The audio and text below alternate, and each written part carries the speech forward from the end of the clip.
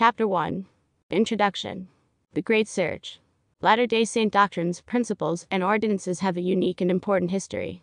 Without studying and understanding them, it is impossible to know God's will for man, for he said, It is impossible for a man to be saved in ignorance. D&C 131 6, and the prophet Joseph Smith explained.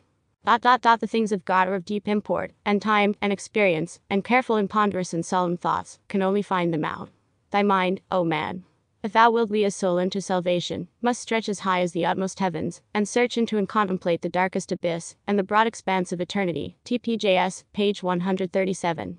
I advise all to go on to perfection, and search deeper and deeper into the mysteries of godliness. A man can do nothing for himself unless God direct him in the right way, and the priesthood is for that purpose. TPJS, page 364. But this search to understand the mysteries is long and challenging. There have always been confusion, discord, and contradictions among those trying to interpret the gospel. Even Christ occasionally said things that seemed to be contradictory and mysterious, all the more reason for our extensive study of the background, history, and meaning of these gospel doctrines and principles. The prophet Joseph described the best method to use in learning these saving and exalting principles. When you climb up a ladder, you must begin at the bottom and ascend step by step until you arrive at the top. And so it is with the principles of the gospel, you must begin with the first and go on until you learn all the principles of exaltation. But it will be a great while after you have passed through the veil before you will have learned them. It is not all to be comprehended in this world. It will be a great work to learn our salvation and exaltation even beyond the grave. TPJS, page 348. It is much more vital for us to advance from the mill to the meat of the gospel than it is to advance from elementary school to high school and college. As the inspired translation of the Bible says, therefore, not leaving the principles of the doctrine of Christ, let us go on unto perfection. Dot dot dot. Heb. 6.1 IT, the meat of the gospel adds to the milk. It is not a substitute for the basic principles. However, most saints are not as desirous or even capable of receiving greater light and knowledge, and are content to stay with the milk. Even the Book of Mormon had to be written with a lesser portion of the word, in order to be understood by the average reader. And now, there cannot be written in this book even a hundredth part of the things which Jesus did truly teach unto the people. But behold, the plates of Nephi do contain the most part of the things which he taught the people. And these things have I written, which are a lesser part of the things which he taught the people, and I have written them to the intent that they may be brought again unto this people, from the Gentiles, according to the words which Jesus hath spoken. And when they shall have received this, which is expedient that they should have first, to try their faith, and if it shall so be that they shall believe these things, then shall the greater things be made manifest unto them. And if it so be that they will not believe these things, then shall the greater things be withheld from them, unto their condemnation. Behold, I was about to write them, all which were engraven upon the plates of Nephi, but the Lord forbade it, saying, I will try the faith of my people. 3 Nephi 26 6 11. Joseph Smith could not tell even his close associates all that God had revealed to him.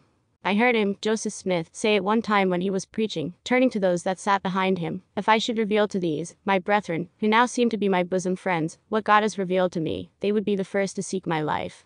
And it was so. Nancy Tracy Autobiography, BYU Transcript, page 25. Only when people make the extra effort to learn the greater principles of the gospel do they begin to realize the tremendous value of them. Eventually, they can gain a testimony of these truths which is of more value than life itself. John the Revelator wrote about saints who considered the gospel worth dying for. And they overcame him, Satan, by the blood of the Lamb, and by the word of their testimony, and they loved not their lives unto the death. Rev. 12:11. Many thousands have endured torture, pain, and death at the hands of those who oppose the gospel. The Savior also explains how valuable the gospel should be to us. Dot dot dot the kingdom of heaven is like unto a merchant man, seeking goodly pearls. Who, when he had found one pearl of great price, went and sold all that he had, and bought it. Matt.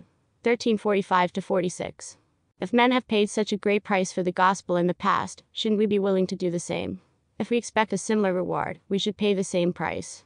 The prophet Joseph comments. Reflect for a moment, brethren, and inquire whether you would consider yourselves worthy a seat at the marriage feast with Paul and others like him, if you had been unfaithful. TPJS, page 64. The saints generally have failed to understand the importance of the gospel restoration either for themselves or for the great work that will result from it as George Q. Cannon explained in 1882. The Lord, to the prophet Joseph Smith, in early revelations, told to the church, You are laying the foundation of a great work, how great you know not. And the same words are just as applicable to us today, notwithstanding the growth of the work up to the present time. We, with the light we now possess, even, cannot conceive of its greatness. It has not entered into our hearts, neither are we capable of conceiving of it. JD 23 277 to 278. Brigham Young warned the saints in 1859 against placing too much importance on wealth and riches, rather than on the principles of the gospel.